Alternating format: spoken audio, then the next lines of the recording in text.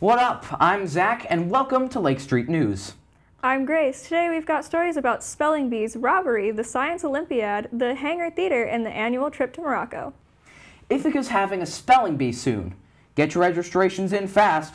They are scheduled to happen on March 11th, May 21st, and June 11th. You can register either as a four-person team or as an individual who will be placed onto a team closer to the event.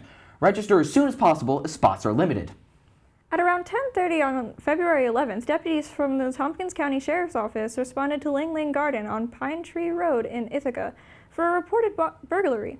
Employees had arrived at the restaurant early in the morning to find that it had been burglarized overnight, and upon review of surveillance footage, a white man was seen breaking into the back door and stealing cash from the register. Deputies canvassed the neighborhood and also saw the same man trying to break into a car wash also located on Pine Tree Road. With help from I IPD, officers deputies were able to locate the suspect's vehicle and apprehend the suspect, who was identified as James Castenhuber of Ithaca. Castenhuber was charged with burglary, attempted burglary, and possession of burglary tools and was put into the Tompkins County Jail. Last week, the IHS Science Olympiad team went to Massachusetts to compete against teams from across the Northeast in their last invitational of the season.